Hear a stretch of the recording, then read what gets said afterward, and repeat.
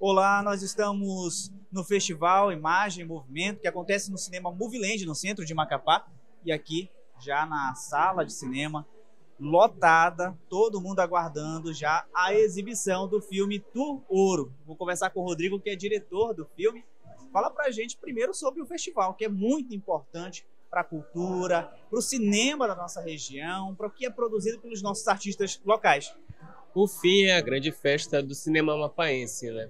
Então a gente está aqui estreando o Tuoro, né? São, é uma semana de, de filmes mapaenses do resto do Brasil e do mundo, né? Então é um local para celebrar o cinema, é um local, local para celebrar a cultura, é um local para ce, é celebrar um debate, né? Político também. Então o cinema é tudo isso. E o filme tem com certeza propósito nesse mesmo tema.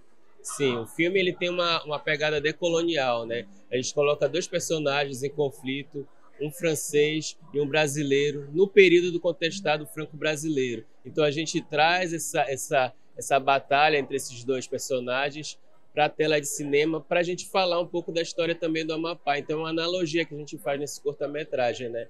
Brasil, França e esse conflito colonial também assim como o filme ele trata de desafios, a produção do mesmo também é bem desafiante. Sim, aqui o, cinema é uma arte desafiadora, né? E não foi, não foi diferente para a gente, né? Foram quatro anos de produção, né? A gente, a gente filmou em 2020, 2021, a gente passou mais quatro anos aí para finalizar esse produto e agora a gente está lançando aqui em Macapá.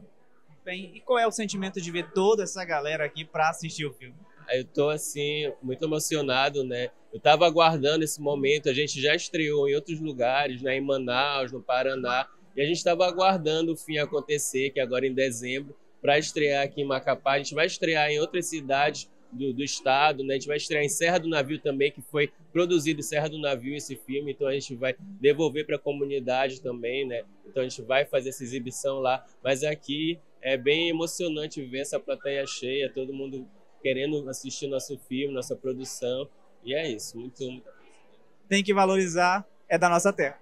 Com certeza. Aqui, hoje, só vão ser filmes amapaenses, vão ser exibidos e vai estar sendo escolhido o filme de destaque da mostra, né? Então, aqui é uma celebração também no cinema amapaense, vai ser o Prêmio Gengibirra de Audiovisual, né, que é o nosso Oscar aqui do Amapá. Então, isso, a celebração do cinema, a celebração da cultura amapaense também. Muito obrigado, Rodrigo.